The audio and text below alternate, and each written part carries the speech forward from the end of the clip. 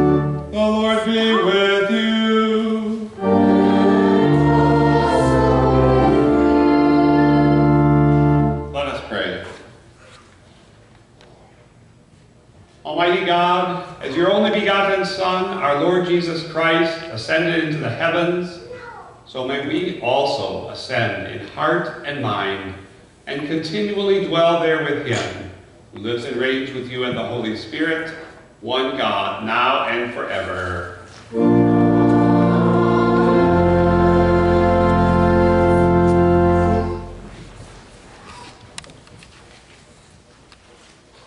The Old Testament reading for the ascension of our Lord is from 2 Kings chapter 2. The sons of the prophets who were at Jericho drew near to Elisha and said to him, Do you know that today the Lord will take away your master from over you? And he answered, Yes, I know it. Keep quiet. Then Elijah said to him, Please stay here, for the Lord has sent me to the Jordan. But he said, As the Lord lives and as you yourself live, I will not leave you. So the two of them went on. Fifty men of the sons of the prophets also went and stood at some distance from them, as they both were standing by the Jordan. Then Elijah took his cloak and rolled it up and struck the water, and the water was parted to the one side and to the other, till the two of them could go over on dry ground. When they had crossed, Elijah said to Elisha, Ask what I shall do for you before I am taken from you. And Elisha said, Please let there be a double portion of your spirit on me. And he said, You have asked a hard thing. Yet, if you see me as I am being taken from you, it shall be so for you. But if you do not see me, it shall not be so. And as they still went on and talked, behold, chariots of fire and horses of fire separated the two of them. And Elijah went up by a whirlwind into heaven. And Elisha saw it and cried, My father, my father, the chariots of Israel and its horsemen. And he saw him no more. Then he took hold of his own clothes and tore them in two pieces. And he took up the cloak of Elijah that had fallen from him, and went back and stood on the bank of the Jordan. Then he took the cloak of Elijah that had fallen from him and struck the water, saying, Where is the Lord, the God of Elijah? And when he had struck the water, the water was parted to the one side and to the other, and Elisha went over. Now, when the sons of the prophets who were at Jericho saw him opposite them, they said, The spirit of Elijah rests on Elisha. And they came to meet him and bowed to the ground before him. This is the word of the Lord. Psalm 110.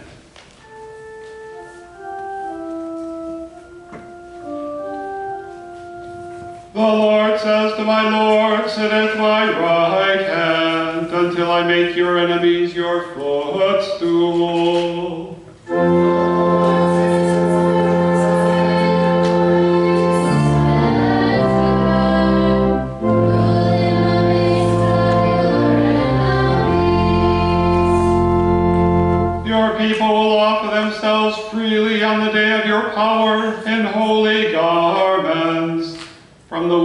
The morning, the dew of your youth will be yours.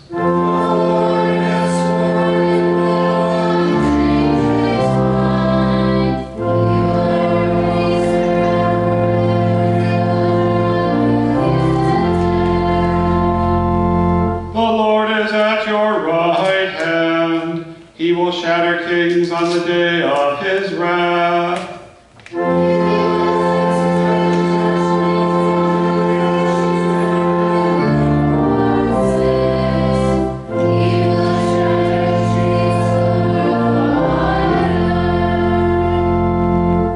Drink from the brook by the way. Therefore he will lift up his head. Glory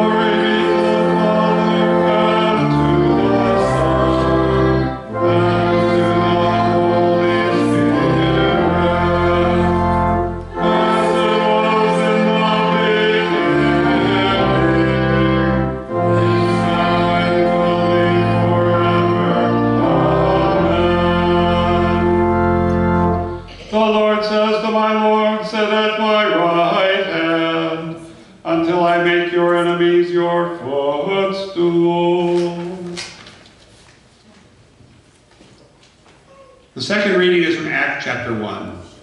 In the first book, O Theophilus, I have dealt with all that Jesus began to do and teach, until the day when he was taken up, after he had given commands to the Holy Spirit to the apostles whom he had chosen. To them he presented himself alive after his suffering by many proofs, appearing to them during forty days, and speaking about the kingdom of God. And while staying with them, he ordered them not to depart from Jerusalem, but to wait for the promise of the Father, which he said, You have heard, you heard from me. For John baptized with water, but you will be baptized with the Holy Spirit not many days from now.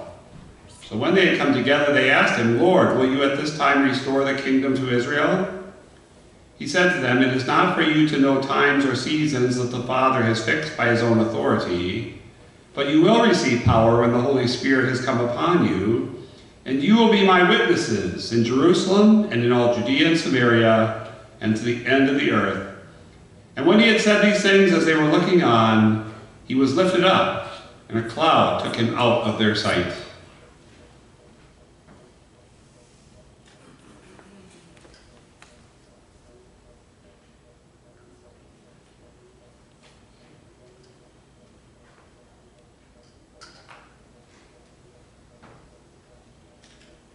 And while they were gazing into heaven as he went, behold, two men stood by them in white robes and said, Men of Galilee, why do you stand looking into heaven? This Jesus who was taken up from you into heaven will come in the same way as you saw him go into heaven. This is the word of the Lord. Rise for the Alleluia.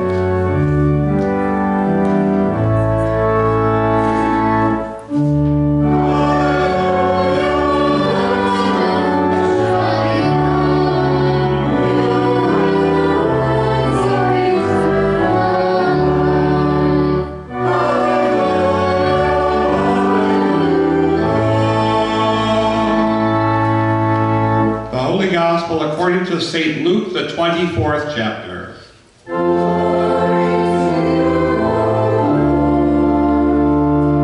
Jesus said to them, These are my words that I spoke to you while I was still with you, that everything written about me in the law of Moses and the prophets and the Psalms must be fulfilled. And he opened their minds to understand the scriptures and said to them, Thus it is written, that the Christ should suffer and on the third day rise from the dead, and that repentance and forgiveness of sins should be proclaimed in his name to all nations, beginning from Jerusalem. You are witnesses of these things. And behold, I am sending the promise of my Father upon you, but stay in the city until you are clothed with power from on high. Then he led them out as far as Bethany, and lifting up his hands, he blessed them. While he blessed them, he parted from them and was carried up into heaven. And they worshipped him and returned to Jerusalem with great joy and were continually in the temple blessing God. This is the gospel of the Lord.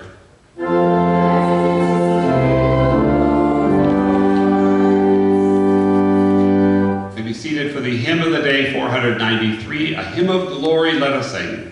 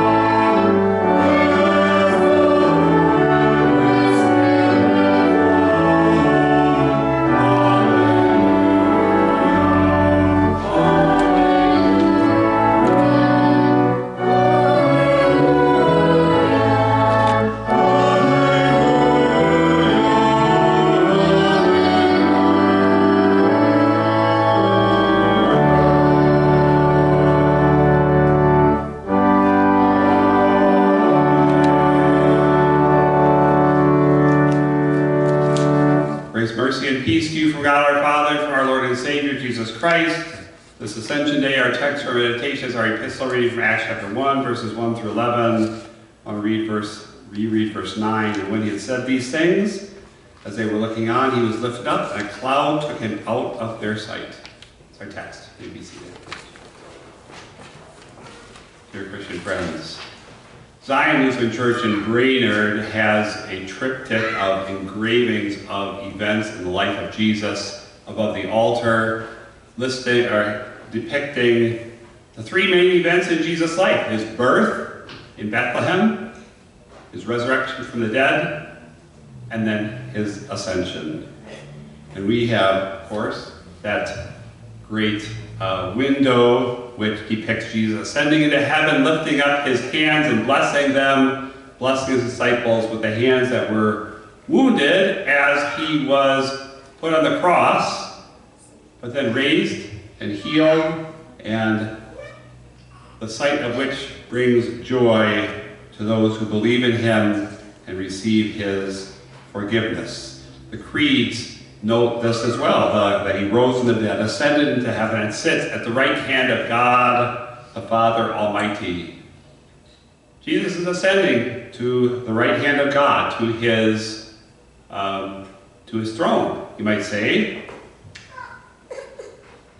One of the great names of Jesus that Isaiah the prophet gives the Savior is that name, Emmanuel, God with us. We think about it especially at Christmas, of course. When Jesus spoke to the disciples in the upper room before his death, the disciples were sad. Jesus said he was going from them, but he wasn't going from them to leave them. You know, we're not remembering today Jesus going away from us as much as a different way that Jesus remains present with us. Jesus is still God with us. Emmanuel is still Emmanuel. When Jesus was, you know, the very last words of Matthew's gospel, right before his ascension, Jesus spoke these last words Behold, he said, pay attention to this, I am always, I am with you always. That seems a strange thing to say for Jesus to say right before he ascended into heaven, but he was not going away, he was staying with them. Jesus ascending went into a cloud that hid them from their sight. Hid him from their sight didn't remove him from them. The cloud was not meant to indicate some far off distance. I mean, sometimes we think about that or picture, at least I did, you know, Jesus going up and up and up way up in the clouds.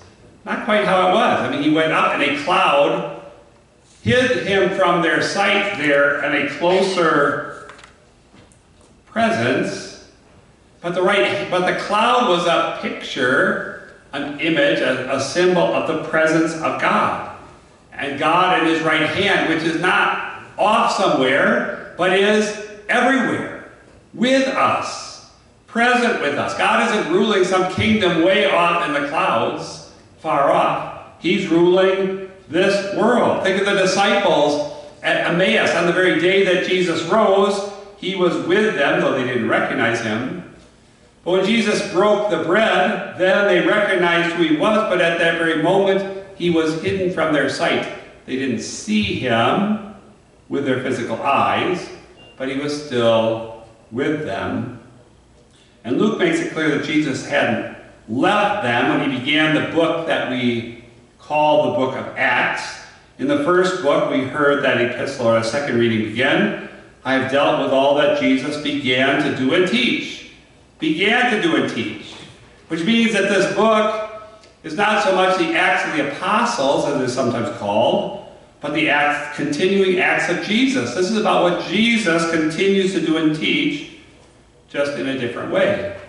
For 40 days, Jesus was appearing to the disciples, showing himself to be alive with them, although not quite the same as before, but coming to them, appearing to them, teaching them, and going away, and finally teaching them, of course, reminding them about the kingdom of God and instructing them to stay there in Jerusalem until they received the promised gift of the Holy Spirit, and it would not be long.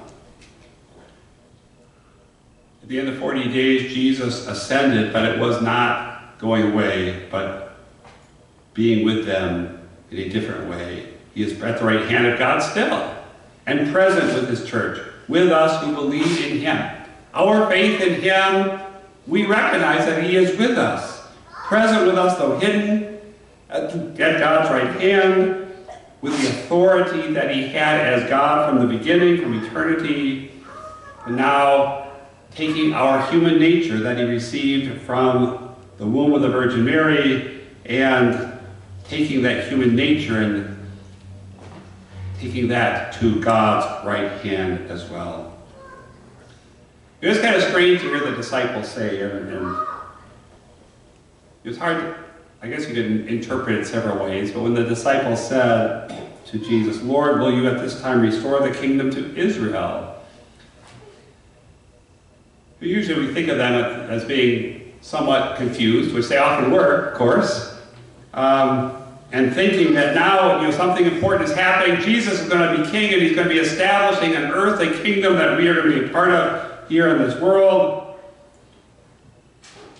Or maybe they were thinking, you know, is this the time that you are taking up your spiritual reign?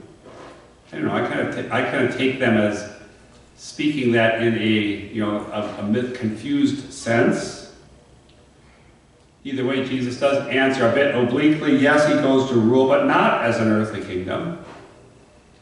He is going to rule. His ascension is so that he can rule for us, remaining with us, not off in heaven somewhere while we continue to struggle and endure in this life while Jesus is gone enjoying maybe his vacation somewhere off in the far off places. He is true man, but true God everywhere and with us, especially where he has said he will be. In the breaking of the bread is one place, of course, in the Lord's Supper. Jesus is Emmanuel, God with us in our need, giving us his gifts at all times, even when we don't recognize his presence. He comes to us in his word, his word that we as believers hear and recognize as spiritual words directed to us through the Holy Spirit and bringing us Jesus. He comes to us in our baptism when we are joined together with Christ in his death and resurrection, in the absolution and forgiveness of sins in many and diverse ways. This is what we are remembering on Ascension Day. Not Jesus going away from us, but continuing to be with us. This is what Paul even remembers, mentions as he, in Ephesians chapter 4, recalls what Jesus accomplished in his ascension.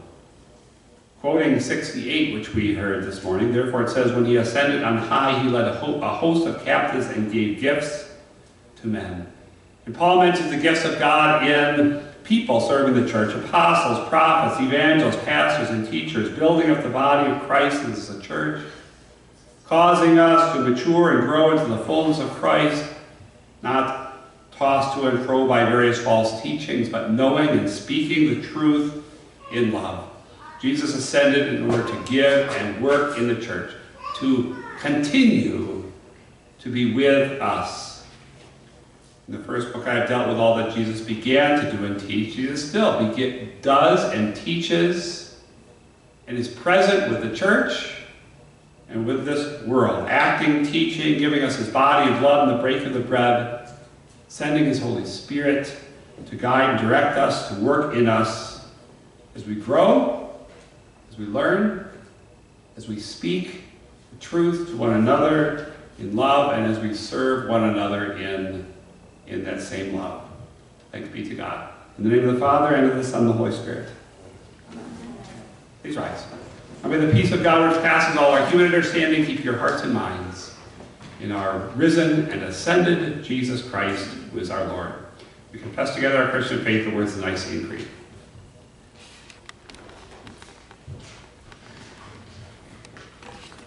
I believe in one God, the Father Almighty, maker of heaven and earth, and of all things visible and invisible and in one Lord Jesus Christ, the only begotten Son of God, begotten of his Father before all worlds, God of God, light of light, very God of very God, begotten, not made, being of one substance with the Father, by whom all things were made, who for us men and for our salvation came down from heaven and was incarnate by the Holy Spirit of the Virgin Mary, and was made man, and was crucified also for us under Pontius Pilate.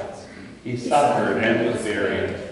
And the third day he rose again, according to the Scriptures, and ascended into heaven, and sits at the right hand of the Father. And he will come again with glory to judge both the living and the dead whose kingdom will have no end. And I believe in the Holy Spirit, the Lord and giver of life, who proceeds from the Father and the Son, who with the Father and the Son together is worshipped and glorified, who spoke by the prophets. And I believe in one holy Christian and apostolic church. I acknowledge one baptism for the remission of sins and I look for the resurrection of the dead and the life of the world to come. Amen. Let us pray for the whole church of God in Christ Jesus and for all people according to their needs. O Lord, since your Son has gone up with a shout and the sound of a trumpet, ascended in triumph and seated at your right hand, so open our lips to sing praises to our King, rejoicing and living in the truth of his victory for us. Lord, in your mercy. Blessed Lord, you established your church and cleansed her with your Son's blood. Continue to cleanse and renew your people, that we may remember our baptismal vocation of worship, witness, prayer, and service. Give to your church faithful men and women who will heed your call to church work vocations. Bless especially those men who have been set apart for the ministry of word and sacrament. Lord, in your mercy, Almighty God, help us when we do not see everything in this world in subjection to Jesus. Give us eyes of faith to see him crowned with glory and honor at your right hand, and so believe that nothing is outside his control. Lord, in your mercy. Amen. O Lord, since your Son will shatter kings when he executes judgments on the nations, keep our leaders from acting in ways that will earn them his wrath. Bless them with wisdom to govern us in accord with your righteous ways. Lord, in your mercy. Gracious Father, believing in your Son's name, we call on you to deliver all who suffer in our midst. Rescue them from sickness of body, mind, and every other power of the enemy. Lord, in your mercy. Lord God, keep us from hardness of heart and unbelief. Help us by your Spirit to believe the witness of those who saw your Son after his resurrection, that we may joyfully recline at table with him today, to eat his body and drink his blood in a worthy manner. Lord, in your mercy, O Lord, Heavenly Father, we gratefully remember the sufferings and death of your dear Son, Jesus Christ, for our salvation. Rejoicing in his victorious resurrection from the dead, we draw strength from his ascension before you, wherever stands for us as our own high priest. To you alone we give all glory, honor, and worship, Father, Son, and Holy Spirit, one God, now and forever. Amen. And be seated for the offering. Decree